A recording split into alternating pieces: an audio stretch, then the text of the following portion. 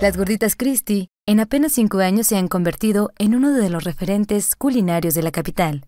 Gracias al sazón de cada uno de los guisados, los tan solicitados frijoles rojos fritos y la consistencia de las gorditas hechas a mano frente al comenzar. José Luis Aguayo Méndez, encargado del negocio, expuso que el 11 de noviembre de 2018 se instalaron en la calle Cascanes, en la colonia Buenos Aires, donde permanecen y atienden gustosos a los zacatecanos de las 8 a las 14 horas de lunes a sábado.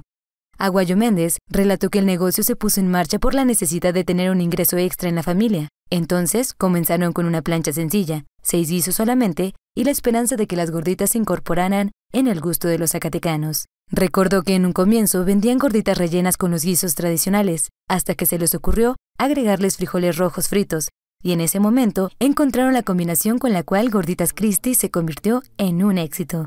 Así lo han corroborado los clientes, quienes esperan pacientemente en la fila para pedir esta especialidad o cualquier otro de los 18 guisos que integran las opciones del local. Entre ellas hay chicharrón, picadillo, bistec, buche, yesca, rajas, muele con arroz, deshebrada y chile relleno. Este último, el más pedido durante cuaresma, cuando llegan a vender 200 gorditas de estas.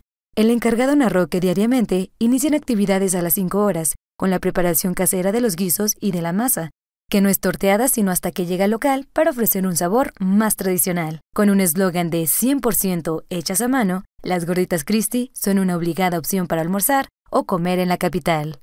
Informativo NTR.